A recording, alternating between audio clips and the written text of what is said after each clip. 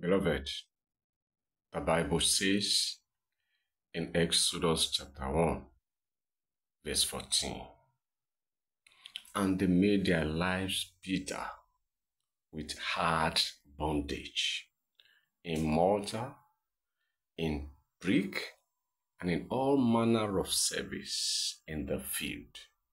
All their service wherein they made themselves was with rigor.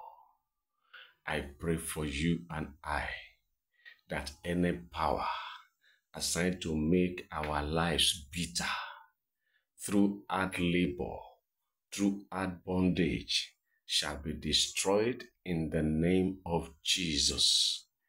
Powers assigned to make us labor in vain or to make us labor much but get little or no result shall be subdued and be destroyed by the power in the name of Jesus.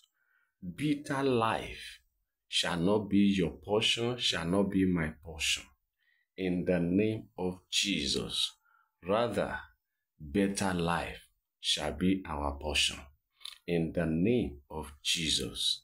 From this day henceforth, it is much favor and less labor for us. In the mighty name of Jesus. It is well with you. It is well with me. It is well with every one of us. In the mighty name of Jesus. In Jesus' mighty name, we have prayed. Amen.